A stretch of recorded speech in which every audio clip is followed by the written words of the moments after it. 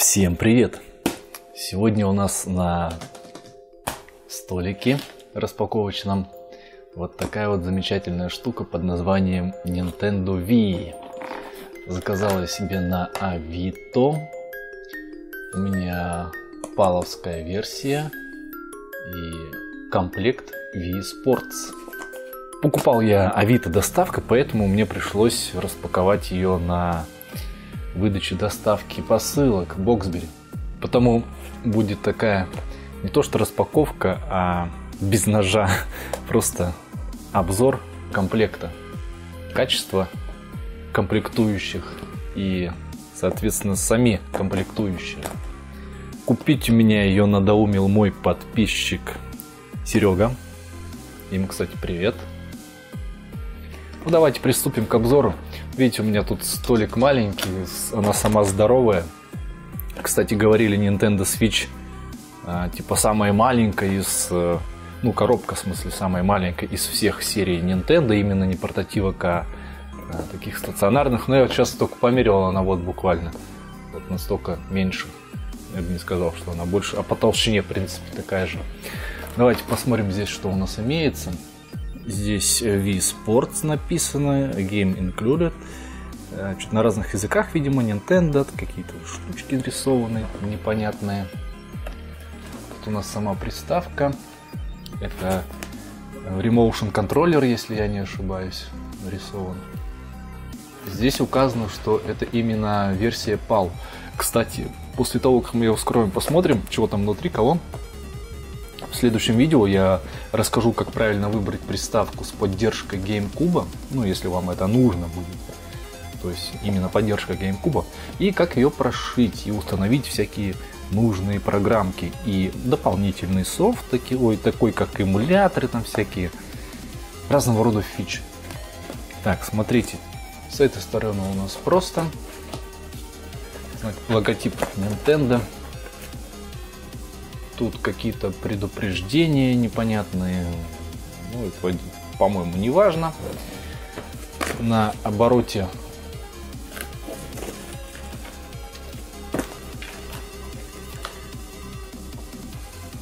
Блин, коробка увесистая, она сколько, 4,5 кило, по-моему, весит, почти как PlayStation 3 фатка. Она, по-моему, там 5 килограмм, если не ошибаюсь. Вот здесь вот порвано немного. Но это не, не важно, это такой небольшой косячок, издержки производства, так сказать. А здесь более интересно, обратите внимание, слева у нас идет комплектация. Первое это у нас сама консолька, второе идет это у нас подставка, вот здесь, кстати, нумерация вся написана. Третье это идет... Э, а, смотрите, цифра 3 пропущена, здесь 1, 2, потом 4, 5. Я не вижу, где здесь 3. Просто вот это под номером 2 это у нас подставка для вертикальной установки а, самой приставки. И еще под номером 3, смотрите, написано V Stand Plane.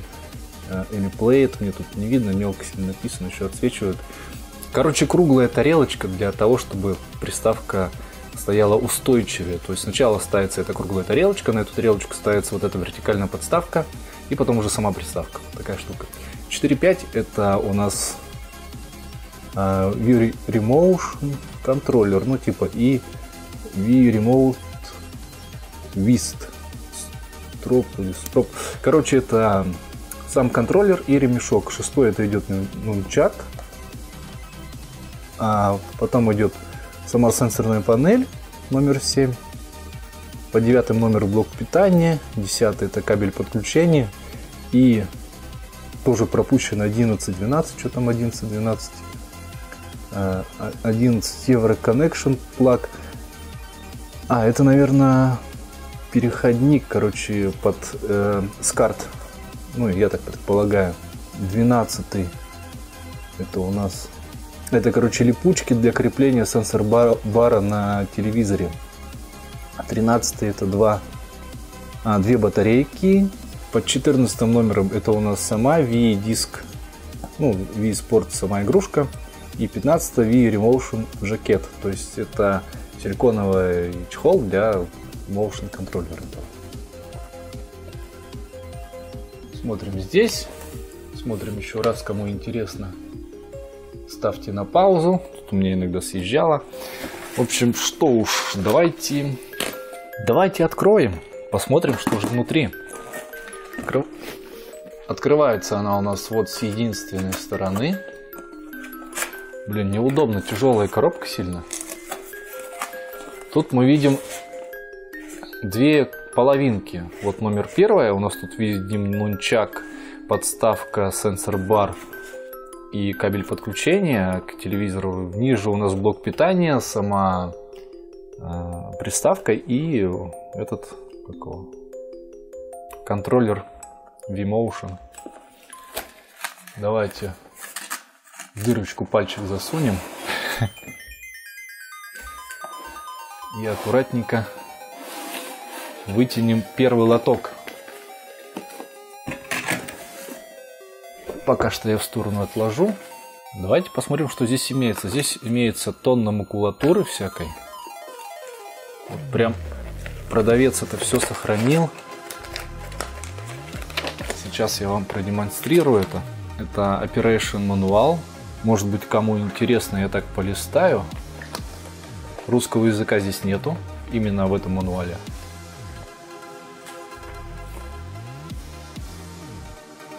Мне еще, кстати, да, как правильно ее включать-выключать, интересно было бы. Современные консоли, плойка третья отключается с помощью кнопки и самого меню. Там меню я такого не наблюдал. Тоже какой-то operation мануал, каналы и настройки. А здесь просто системные настройки были в черном.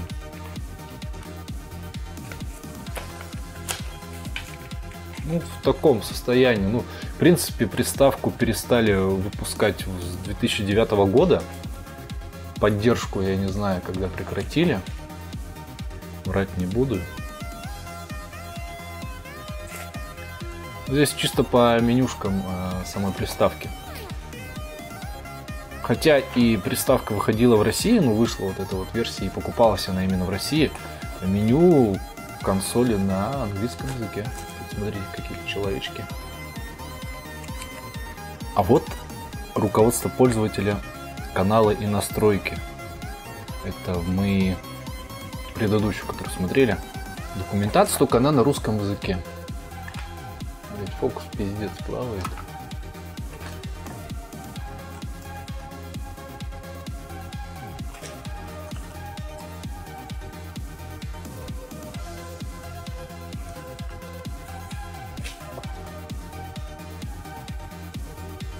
То есть, как видим, все на русском, все цветное. Вот, кстати, как своего аватарка создавать, там Мии. Мордочки всякие там рисовать ему. Подобного рода всякая лабуденька. Полистал мануальчик, думал, какое-то оглавление будет, но нет, в конце за, заметки, тут э, коды ошибок, контактная информация. В общем, ерунда всякая. А это Wii Sports, это, наверное, instructions буклет какой-то, это к игре, по ходу дела, как там управляться, список игр, по ходу там есть, на каком-то языке непонятном. Да, вот здесь, смотрите, слева теннис, баскетбол, боулинг, гольф, потом боксинг, тренинг, Fitness. В общем, это для игры. Здесь какой-то Quick Setup. Это быстрая, я так понял, а, установка.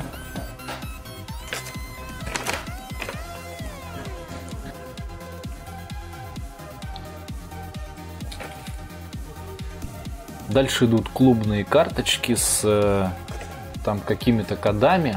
Я не знаю, регистрировали ли эти коды. Вот написано, написан сайт clubnintendo.com. Это первая карточка. И вот с игрой карточка. Там аналогичный же код. Вот. Не знаю для чего это. Может быть регистрация что-то там будет давать. Кстати, у меня аккаунт есть. Попробовать ввести. Может что-то и будет. Вот это я не знаю, что это такое. А, жизнь и продолжительность. Короче, о вреде, там, видимо, здоровья окружающей среды и подобного рода очень полезная информация. Еще один буклет. Это, видимо, по управлению. А хотя тут что-то... Что-то непонятное. Футбол какой-то. Pro Evolution Soccer 2008. И реклама Mario Galaxy, Super Smash Bros.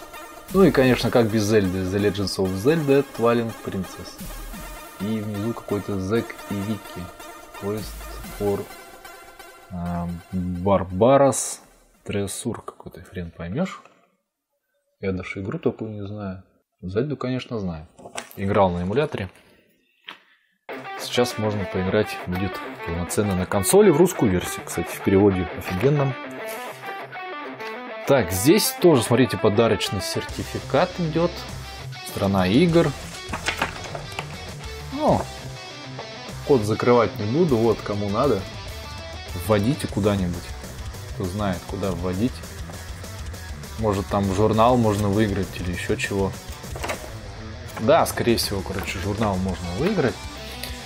Ну и самое крутое, сохранился гарантийный талон и правила ремонта. Все перечислено, вся комплектация. И что самое прикольное? Имеется чек. Здесь указана дата покупки. А, ООО «Новый диск дистрибьюция». А, игра, точнее, сам, сама приставка куплена почти за 15 тысяч рублев. И куплена она 7 марта 2009 года. Как мне продавец сказал, э, покупалась дочке. Видимо, подарок на 8 марта. А меня, кстати, радует, что для моей коллекции вот этот комплект э, более чем полный. Именно вот с такой всей макулатурой. Вот этот переходничок, который я вам говорил, с карт идет и на аудио-видео. Это то же самое, что аудио-видео, это никакой нахрен не карт, это просто тупо переходник. Его даже не вскрывали. Здесь, если присмотреться, то тут присутствуют не все контакты. Видите, здесь три штуки. Там в углу два. Здесь тоже с краю посередине вообще пусто, без зубы с карт. Ну, я говорю, это просто раскидали а АВшку и все это. Как он, композит, да? Лучше, конечно, играть по компоненту. Всегда я их путаю композит с компонентом. Давайте посмотрим. Здесь штука, я не знаю, что здесь лежало. здесь посередине и вот тут. А, тут лежала у нас этот скарт. Вот. Здесь лежит скарт. Типа здесь, ну, будем называть его переходник САВ. Здесь не знаю, что было. Тут, кстати, пакетики всякие, проволочки. Вот она, вот эта круглая подставка на нее ставится вертикальная подставка, потом уже в нее Nintendo, чтобы она была более устойчивая. Мы, наверное, попробуем это дело. Отложим пока в сторонку. То есть все пакетики, вот эти салофанки, все зажимные проволочки эти, хомутки, все сохранено, как оно было.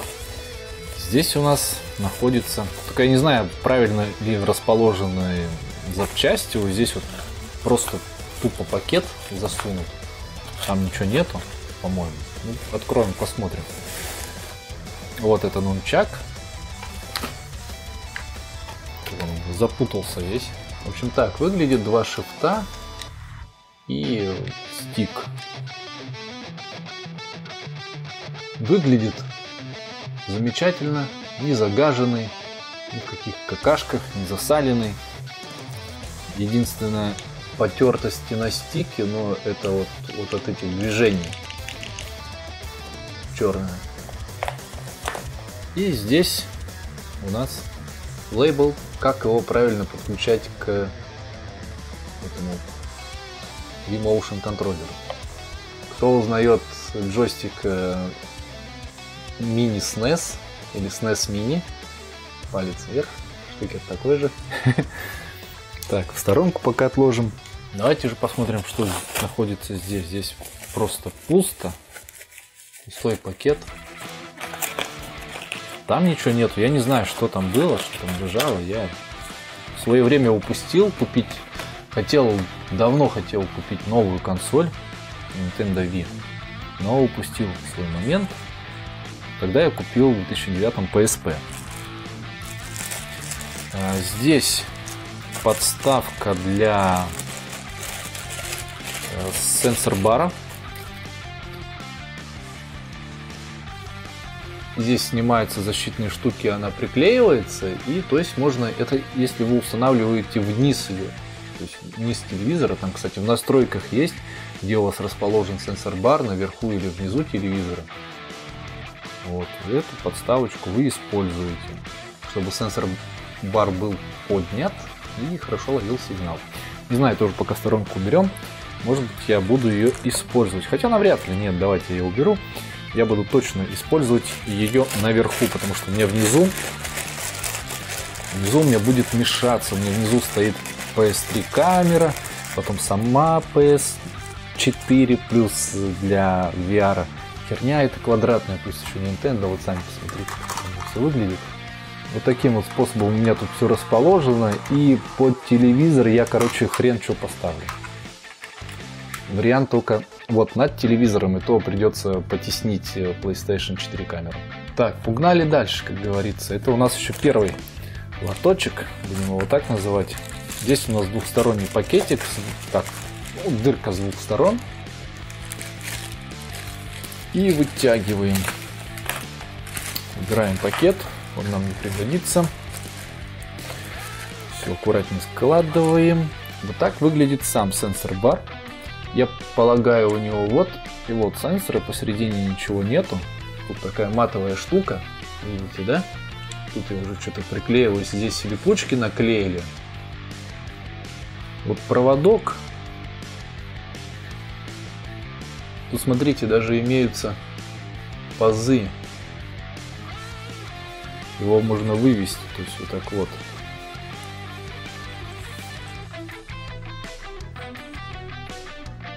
Как бы сбоку. Прикольно. Nintendo продумала все. И давайте посмотрим. А, ну ладно, он, короче, просто вставляется, это подставка и все.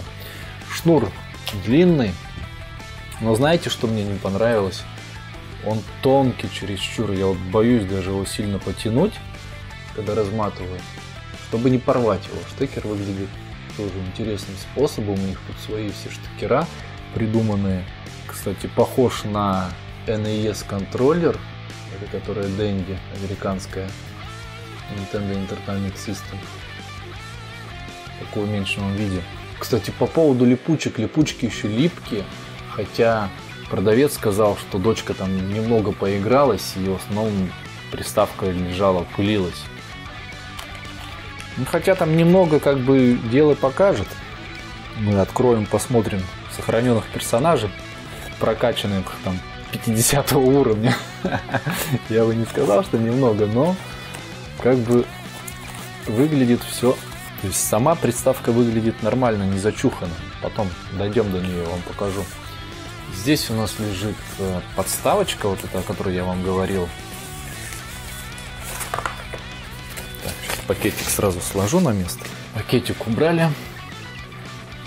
Вот она подставка вертикальная.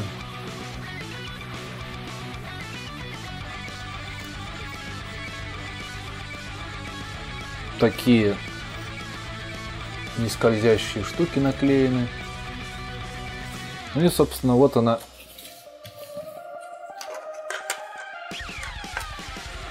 вот этот диск вставляется и написано вверх-вниз.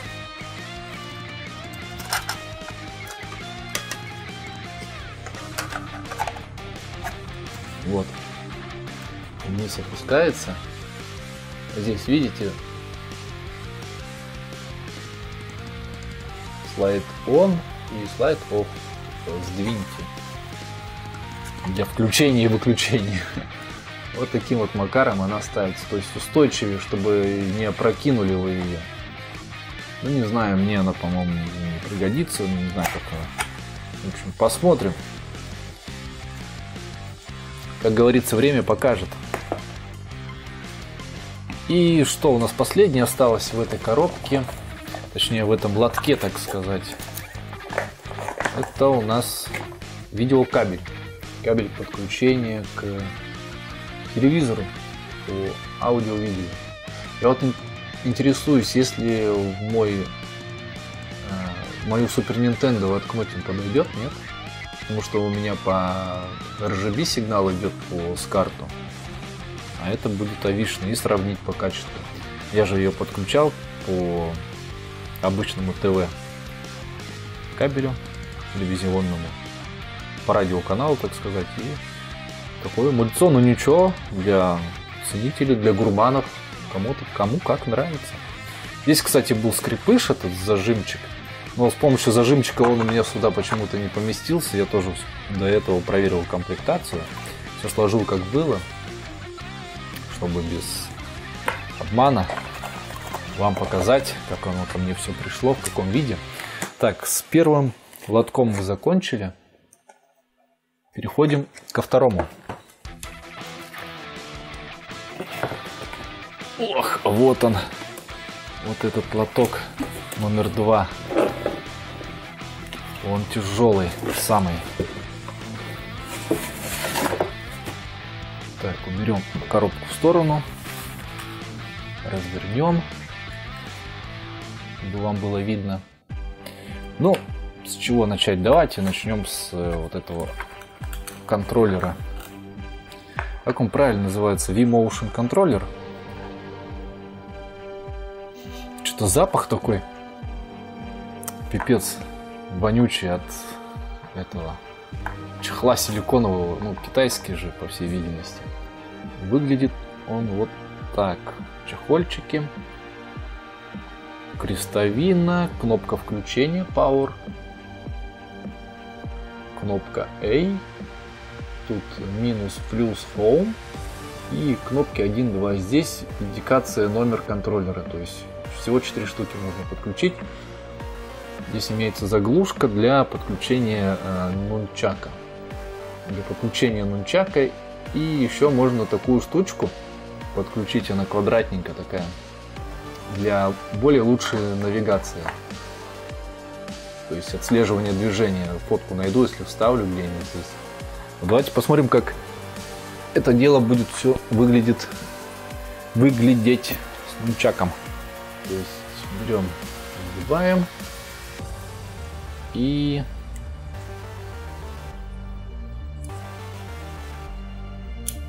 тыкаем. Все на защелках, все плотно. Ремешок есть. Ремешок обязательно используйте, иначе у вас контроллер куда-нибудь улетит Все вместе выглядит это примерно вот так. Отсоединяется он у нас боковушки вот эти нажать надо, да? Вот, все. Кстати, по поводу ремешка. Не сказать, что грязный, хотя использовался детьми. Ну, пойдет, короче, быть еще постирать.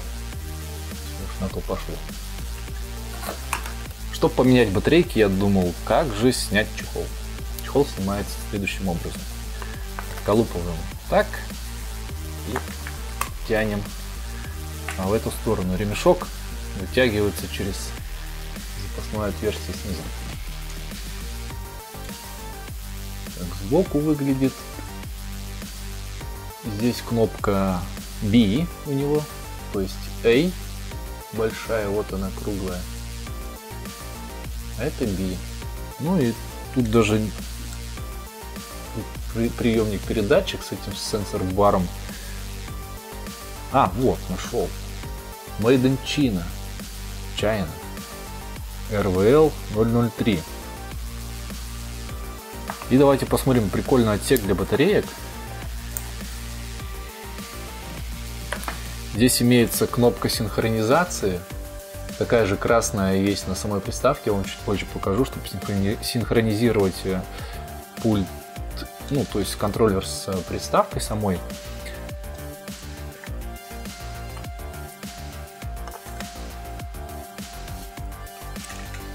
Очень сложно как вытащить батарейку, так и вставить. Давайте вытащу вторую. Посмотрите, какие здесь мощные такие контакты сделаны. Из такого прям железа прочного. Не то, что сейчас китайцы в своих часах там тоненькие, блин, херачат. Ну и здесь указано, как вставлять батарейки, плюс-минус, написано, что полтора вольтов, полтора вольта, тип АА. Да, кто не знал, 3А это пальчик, мизинчиковый, типа. Вот эту минусом сюда. А я использую аккумуляторы GP 2100. Это они перезаряжаются, тоже, кстати, китайские. Не подумайте, что 2, 200 это миллиампер часов, это просто 2100 серия, так называется, GP 2100. Вот.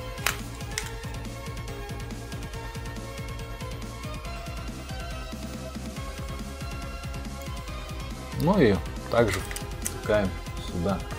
Все плотно село. Закрываем. Почему аккумуляторы, не батарейки? Да потому что, ну, хоть они и дороже, чем обычные батарейки, зато они на дольше. На дольше хватает, и их можно, имея два комплекта, легко перезарядить. Ну, хотя у меня нет двух комплектов аккумуляторов. Именно для вот этого контроллера Возможно, еще целесообразно сделать протирку вот этого окошечка э, жидкостью для протирки оптики. У меня имеется такая. Может быть и сделаю. Не знаю, насколько это целесообразно.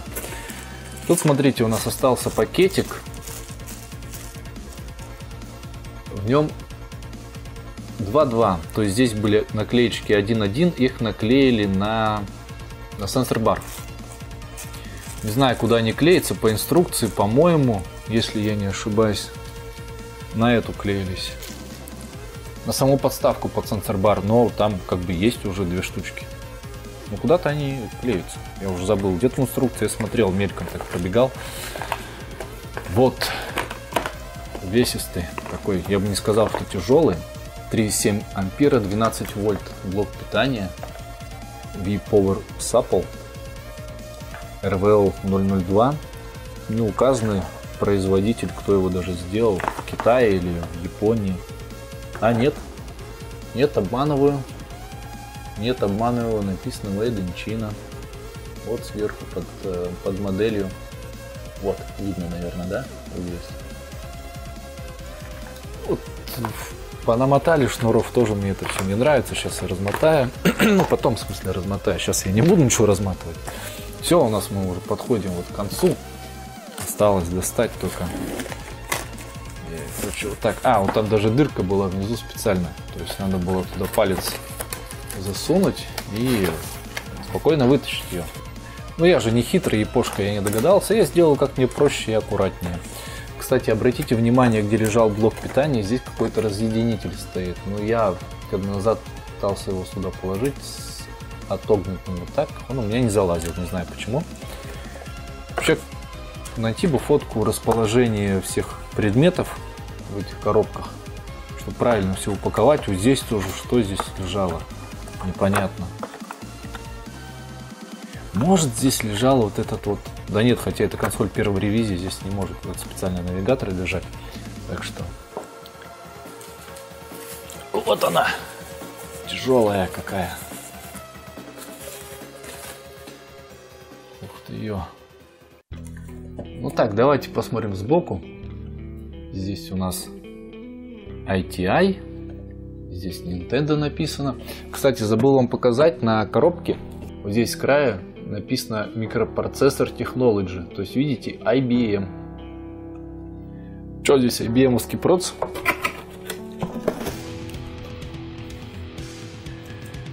Так, сверху у нас имеется два отсека. Это под карты памяти для GameCube и по 4 джойстика. Также имеется сверху на крышке картинка, как все, как все это дело вставлять, как открывать. Крышечки съемных можно убирать, но я не знаю зачем. Это как бы нужно. Сзади имеются два USB порта, потом вентилятор. Это у нас AV-выход, это сенсор-бар красненькая, ну и нижний это у нас 12-вольтовое питание. С этой стороны имеется вентиляционное отверстие, резиновые ножки 4 штуки, лицевая сторона кнопка питания, сброс, выброс диска и название самой приставки типа V. Здесь отсек под диск, кстати диск внутри находится. Здесь я не открою сейчас, наверное. А здесь под крышечкой у нас слот для карты памяти. Микро ой, SD карточка идет. Ну, можете микро SD использовать с переходничком большим. И красная кнопочка синхронизации. Помните, я вам на контроллере показывал, есть такая маленькая, то есть здесь нажимаете и там нажимаете, и синхронизируете их. Хотя сначала на контроллере надо нажать, потом здесь. Вот эта кнопочка закрываем. Кнопки все щелкают. В общем, стоять она может вот так, либо лежать так. А, кстати, вот я вам сзади еще забыл показать. Точнее, не сзади, а это низ у нее получается. Тоже 4 у нее а, резиновые штучки. Отсек для вентиляции. И здесь у нас модель RVL 001, европейская версия. Сделана также в Китае. Вот эти квадратики пластмассовые, это, видимо, там дополнительные болты, и, видимо, она не вскрывалась, типа как пломбы стоят. Но я точно не уверен, что она не вскрывалась. Хотя, если присмотреться, вот там находится вентилятор за решеткой, и судя по его лопастям, то есть пыли на его лопастях, она поработала не так уж и много. И здесь на всех сеточках тоже наличие пыли как бы отсутствует. В общем, время покажет, как она себя будет вести, как будет работать. С этим мы всем разберемся. Давайте посмотрим, как она стоит горизонтально.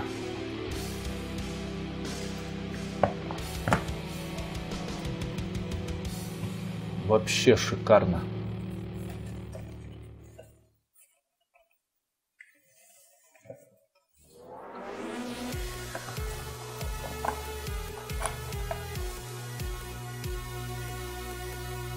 Есть японцы крутые дизайнеры. Она как бы под углом так получается. Круто. Мне нравится. Буду, наверное, использовать с этой подставкой. Ну вот и все. На этом я закончу. Как выбрать правильную модель, прошиваемую и именно ту, на которой можно нормально играть. Потому что на Авито, когда я выбирал, там дохренище было всяких непонятных моделей.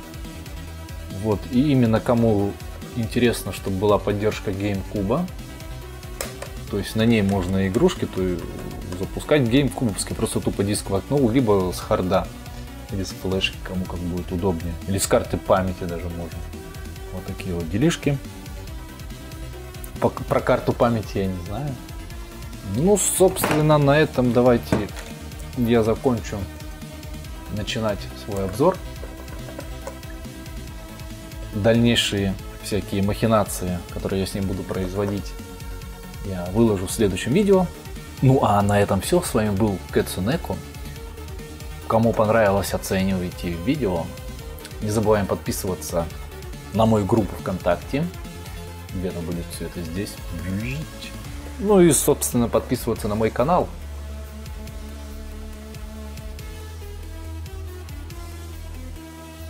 Еще услышимся. Джане.